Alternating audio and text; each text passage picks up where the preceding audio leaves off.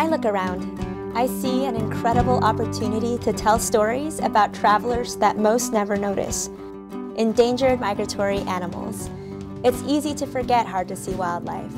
But through a collection of murals painted along migration corridors, the transient life of these animals can easily be seen, and more importantly, appreciated. This is the migrating mural. A North Pacific blue whale, the largest animal to ever live on this planet, swimming with the currents of the North Pacific Gyre off Coastal Highway 1 as it journeys from Baja to Alaska.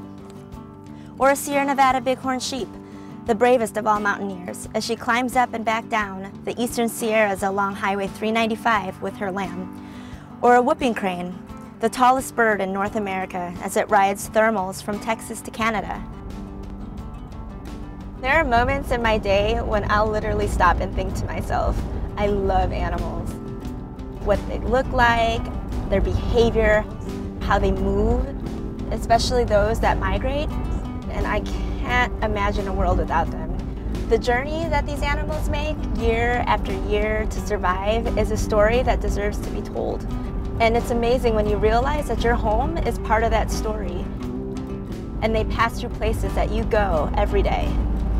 Weathered structures, these old abandoned barns and buildings, and they just look like they're somehow becoming a part of the natural landscape, and I love that.